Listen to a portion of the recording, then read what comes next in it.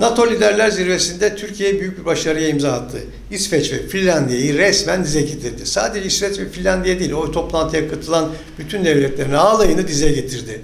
Bu gerçekten çok büyük bir başarı. Ancak içimizdeki İsveç ve Finlandiyalılar bu başarıdan öyle rahatsız ki sosyal medyada öyle paylaşımlar yapılıyor ki insanın inan inanası gelmiyor. Bu kadar ahlaksızlık, bu kadar terbiyesizlik olmaz. Hadi onları bir kenara baktık. İyi Parti ve CHP genel başkanları bakalım bundan sonra ne yapacaklar. Zira elin gavuru bile PYD'yi resmen terörist örgüt ilan etti. Şimdi bakalım sizler bu PYD'yi terörist örgüt ilan etmekten daha ne kadar imtina edeceksiniz, daha ne kadar kıvıracaksınız. Elbette bu başarıyı kıskanmanızı liderler olarak anlıyoruz. Zira altılı masada her kim olsa olursa olsun bu başarıya imza atması gerçekten şahsi görüşüm olarak mümkün değildi. Buna rağmen siz bu başarıyı hala gölgelemeye çalışıyorsanız bize söyleyeceğim tek şey şu. Yazıklar olsun.